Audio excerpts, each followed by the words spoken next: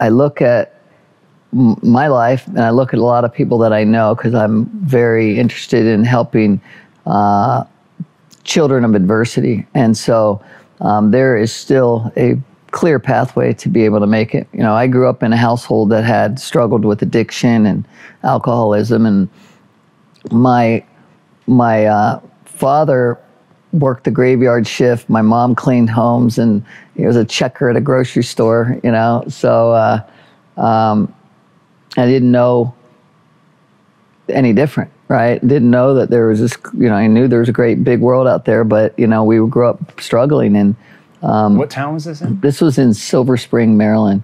So it was kind of the outskirts of DC, and and we had bars on the windows, and you know, brick apartment buildings, and um, it was just a lifestyle that I again, like I said, I didn't know any different. And I I failed fourth grade.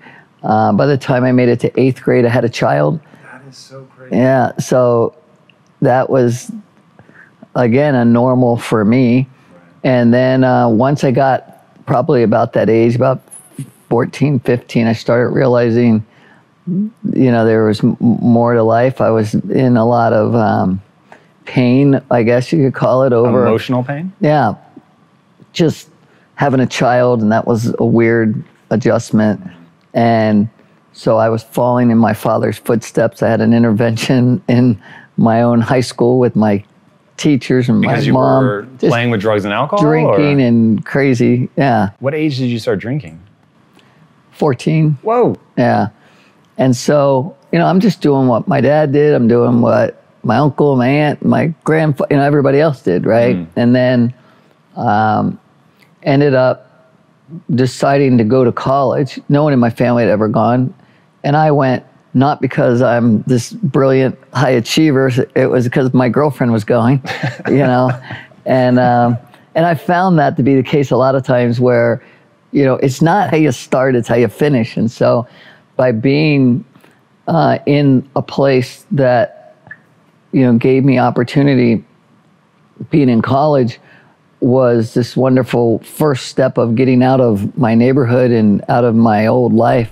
Need motivation? Watch a top 10 with Believe Nation. Top 10, I got a top 10. Got my motivation high for my top 10. Gotta learn from the wise women and men.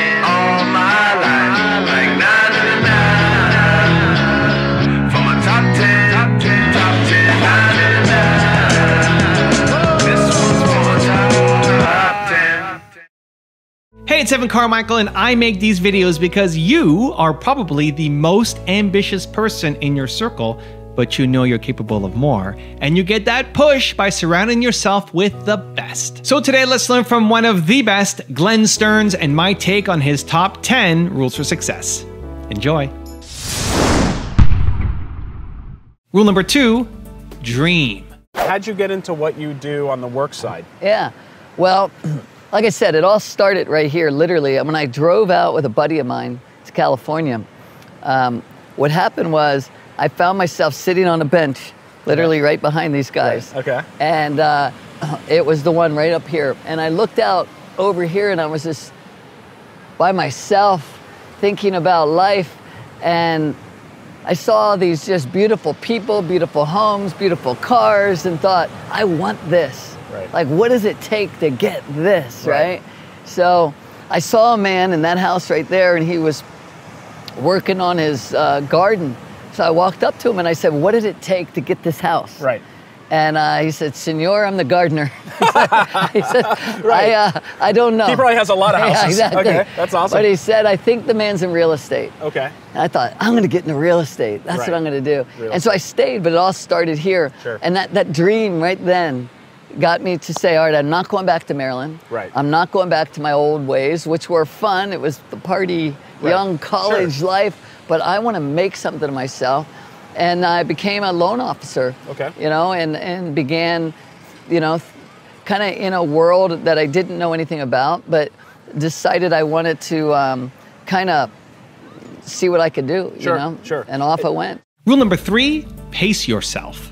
I know a lot of people, and they think I can't even get started because it's too big of a project. How do you get from here to there. And I can only tell you it's if you take a look at the overall scope of where you want to go, it's overwhelming in any goals that we have in life. But if you just take little bits at a time and you go for it and slowly building yourself, you can get there. Mm-hmm. And, and, and that's been something that I'm really pretty good at, at, at looking at here to there saying, I can get to there. I know I see it, right? Mm-hmm. That's the vision. That's what you're right. talking about. We all want to you know, see the vision way out. I'm sitting on a yacht. I've right. got my private plane, and and you go, okay, I can't get there. It's right. too much yeah. in the way. I still need to make my mortgage payment, right? Yeah, exactly. but if you say I only need to get to here, which is I want to replace myself, and that mm-hmm. means I need more. I need more volume. I need more business. I need more whatever it is. Then you got to start there. How do you get to that? And then the next one is I want to hire a controller, whatever these things right. are, you know, and you keep building by just going to those steps. It, when you look at it that way, it feels, whoa, it's going to take a long time, right? Mm-hmm. And then people give up again. And yeah. that's the part about. So many people give up. Right, because yeah. it's too hard or it's too long or it's, you know, too much work. And, and, and, but that's the point of any body or any business that's been successful. It, it didn't happen overnight. Rule number four leave a mark in the world. I mean, happiness to me is not about money right? It's about the satisfaction that you are doing something larger with your life and feeling very confident in the fact that you are leaving a mark in the world, you know? And we've gone all over the world and I've seen very, very happy people. Um, and yet they don't have a lot, you know? So I don't think it's defined by, by money. Also, if you want to have more self confidence and self belief, the science says it can take up to 254 days of consecutive action for you to build a habit. So I've created a special free program to help you where every day for 254 days, I will send you an email that has a link to an unlisted video that, if you watch it, will boost your confidence forward. The link to join for free is in the description below. When I talk to entrepreneurs, you have to make a decision what's important to you. You have to go build self confidence. The minute you begin to get external in your life, worrying about what other people think about you, right? You've uh, you've lost all control. You and it, and it never fills you up. Rule number five: overcome adversity. I grew up again pretty tough. I didn't know it. You know, you don't know when you're growing up how you're. You know, you just know what you know. Right. And uh, again, having some parents that had some struggles. Um, you know, my mom would put us in the car and say, "Let's go, kids. We're going to get lost." Right. And I think it was because there were some issues at home, right? Sure. And um, we would go to get lost, and we would drive and drive, and she'd say, "Guess what?" You know, we'd say, "We're lost," you know, and we'd have to find our way home. And right. so I found that at times when struggle and and when people that get lost, they get right. nervous and scared. Sure. I found it exciting, wow. you know, and so yeah. it changed my thought process. You know, at fourth at fourth grade, I had failed fourth grade because of dyslexia and some other things. In eighth grade, I had a child, right? So my daughter's 41 right now. Wow. So those little things that came along, you know, really, I think they either turn somebody into real dark side sure. or it motivates you to do other things. And in my life, you know, I think it, it made me, um, it was a wonderful gift and a, and a blessing in disguise. You know, wow. that pain yeah. kind of makes you say, I'm going to freaking do it, man. Right. I'm going to make something of right. myself. Rule number six don't be attached to things. I've never been one that really had um, an attachment to a lot of things. So, you know, I look back on life, you know, some of my best memories are when I slept on the floor for a year when I first got out of college and you know I was a waiter and in the mortgage business, but uh, you know it was just fun. I didn't need a lot of things, and so you know I haven't been attached to those things, and and so you know I kind of went back at it with you know the fact that you know life doesn't need to really be something where you're surrounded by these great things. Sure, they're very nice, you know, but I think money really magnifies who you are, right? If if you're kind of a miserable person, I think you'll be more miserable with money. And if you're a happy person, you know, hopefully you can share the joy with other people and you can even, you know, hopefully even be a little happier maybe. Rule number seven get great talent. What I found I was pretty good at was really finding good talent. Mm-hmm. You know, it was more about finding your weakness and filling those gaps. And so that's what I began doing is just just really searching for great people to come in and, and join the organization and, and we just kept growing and growing. Rule number eight believe. I also believe that old adage, whether you think you can or you think you can't, you're right. You know, and you know, I think there's been a, a lot of uh, hype, or or there's been kind of this sway in in our um, culture that leads to people feeling that they are a victim, and I don't really fall for that.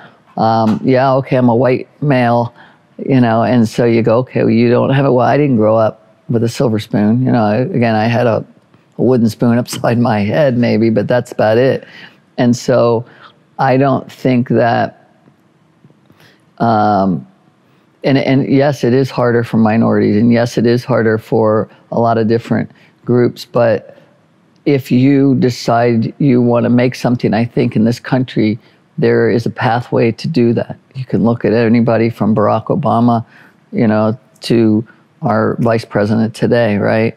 That if you are a female or if you're an African American or whatever, that it may be hard. I'm, I'm not putting that out, but there is a path if you really surround yourself with the right people and don't, you know, keep in your head that you're you can't do it. If you think you can, I believe you can. Rule number nine never give up. What I found, mm-hmm. I mean, being an entrepreneur, being someone that has gone through a lot of struggles in business, is that, you know, those are the times that make you and and when you think there is no way out when you know that that you have exercised every option you have that's the time you buck that buckle down and really start you know working it finding you know every person you can to help get you involved get involved and and you rally your team. It's not the time to give up you know? And and and so i think as they say no is you know really the the, the opening of a conversation. It's not the closing of it. And so you know i've just learned to just keep beating my head and keep getting the nose until you finally get a yes. And and um, there was definitely many many times where i thought i am not going to figure my way out of this one. And then i go back to my life and go you know i've always said that and somehow i figure it out. And rule number 10, the last one before some very special bonus clips, is get a mentor. It was a, one of those, you know, dreams of, you know, I just, uh, let's go do it. And I didn't even know what it was that we were going to do. But, you know, let's become a mortgage broker. And the minute that happened, I thought, well, I want to be a mortgage banker. You know, and so I thought, all right, how do you do that? So I just kept asking people. You know, I went and I was asking the wrong people. I would go to the HUD, to the government, and say, I want to be a mortgage banker. Now, now that I know what I know, they don't know what it means to be a mortgage right. banker. They're like, okay, good luck with Yeah, that. yeah. But they were helping me. They were giving me, you know, you need a credit line, you need this and that, and I would just go to the bank. Hey, I'd like a credit line. you want a credit line? You need history, you know, and things. So it just I began to learn, and and it took some time, and and you know, sooner or later, it just continued to grow, and and um, we started doing really well. And I think there's a lot of people at home, and a lot of people that that, that say, "Well, I don't know what I'm doing."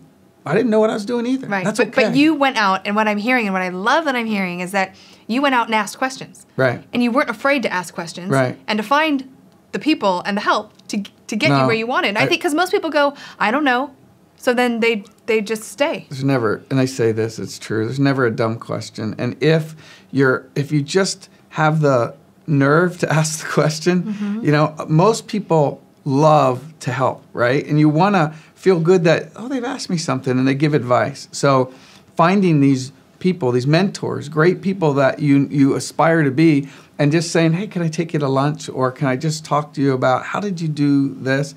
You'll find the same common thread. I think of eh, people have integrity, people don't give up, people work harder than most. All these little things that are so simple, right? I mean, Mhm. it's not hard. Just you do what you say. You know, don't Right. screw people. You know, Right. some basic things, and then eke it out, eke it out, and you'll look back and you'll keep going. I'm getting somewhere. I'm getting farther along. Getting, and then you get to a point where people really start believing in your dream. Yeah. And then they add on, and then the momentum can become so big and fast. Now, I've got a special bonus clip that I think you're going to enjoy. But before that, it's time for the question of the day. I want to know what was your single biggest takeaway from this video and your plan of action for the next week. When you watch a video and just get motivated, you have a 35% chance of actually following through. That's what the science says. And that is not good enough, Believe Nation. We need to do better when you actually get motivated and then create a specific plan of action for what you're going to do this week, you have a 91% chance of following through. And when you publicly commit to somebody else, like leaving a comment below in this video, it jumps even higher. So I want that for you. I want to know your single biggest takeaway from this video and your plan of action for the next week so I can celebrate with you. I think what you find a lot of people it's funny because in the mortgage business, especially, you see when booming times are, you Right. know, because everybody's driving a Bentley. Okay. And then when the life isn't so good, Sure. they're all the Bentleys are back in, Right, right? And right. so what I found though, through I started my business, I, I started in 89, 88, excuse me. In 88, I was here. In 89, I began my own company 10 months later, Wow. which was, they say ignorance is bliss, right? Sure. I didn't know what I didn't know. Right. But um, what happened was I began to grow through the, um, you know, the process of the kind of learning and figuring out what it took to get, you know, my own. Um, you know, I was a broker. Then I Sure. wanted to become a banker. Then I wanted to have my own appraisal company, and I kept adding on. Right. But all along the way, what I think is the most important part is I kept reinvesting all of my profits back Sure. into the company, Wow. and that delayed gratification is real, right? I Sure. mean, if you can continue to do that instead of taking it out and buying one of these beautiful homes, Right. which I didn't buy in those first 20 years, and I could have, right? Right, right. Um, but it was more about realizing the power of reinvesting your money Sure. was so important because I could then right. get bigger warehouse lines. I could then become a bigger banker and so on and so forth. And Right. so that was probably the So- key.